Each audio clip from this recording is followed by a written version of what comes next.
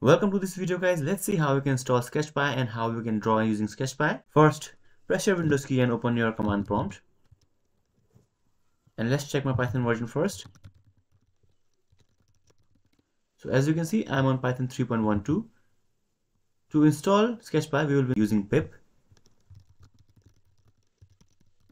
So just enter this command and hit enter and your SketchPy installation will start. If you get an error that says pip is not found, check the link in the description. It shows how to fix that error. While this is processing, check out our brand new awesome coding merch. We've got t-shirts, hoodies, we've got stickers for laptops or notebooks, cups, bags, and a lot more. Get it today from the link below. Okay, once SketchPy is installed, you can exit from this and let's create a new folder where we will create a project for our SketchPy usage. So I'll call it VY sketch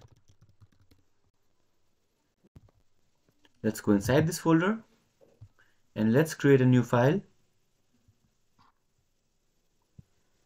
Let's call it main.py now open this to write sample code. You can open this in any editor of your choice or a notepad does not matter. And this is the sample code that I've written. Now it should draw Tom Holland go back to our project folder.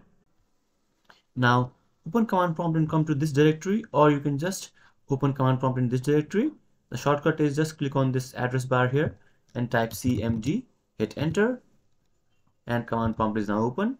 To run this file, just type python and then main.py, hit enter.